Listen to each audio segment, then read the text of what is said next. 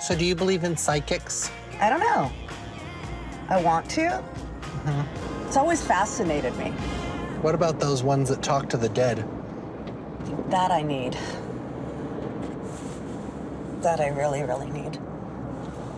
I'm actually a medium and psychic. You are? Yes. mhm. So are you getting a feel for me? Anything? All right. So let me just start um, because there's one person in particular that I'm feeling a strong connection to. So just.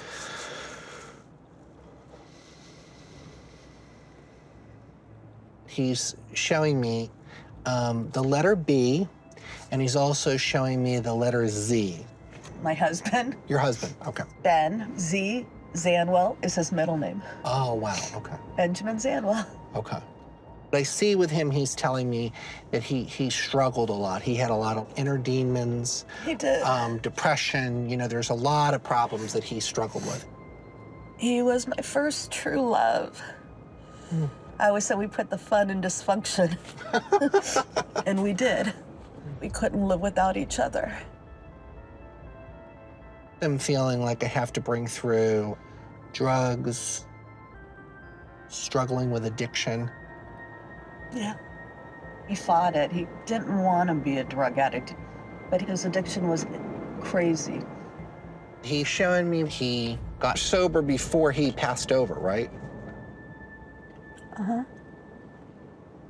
He did die abruptly, Yes. Okay. Sudden death. Yeah. It- but I see with him, he's telling me that passing seems very unusual. I keep getting like chest pains.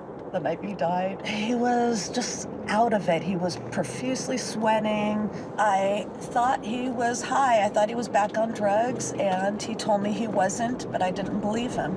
Immediately, I flipped out thinking he was lying and that he was on drugs. We were kind of vicious to each other. I said horrible, horrible things, but I didn't mean any of them. He went to sleep and never woke up, and I found him. The autopsy showed me that he had no drugs in his system. He was sick and I didn't know it, and I thought he was on drugs. I have so much guilt, and I didn't get any closure. I didn't get to tell him I'm sorry.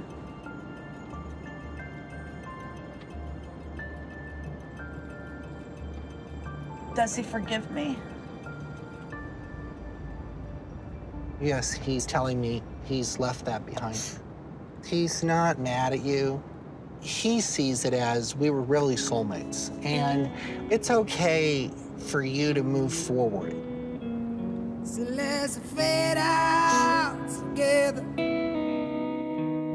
Just like I said that we would. It's not easy. Ben and I were more than just husband and wife. We were we were best friends. We were everything to each other. For over 10 years, every night before I go to bed, I've said the same thing. Good night, Ben. I love you and I miss you so much. This reading with Thomas has given me something of Ben. Told me that if you can forgive me, you would.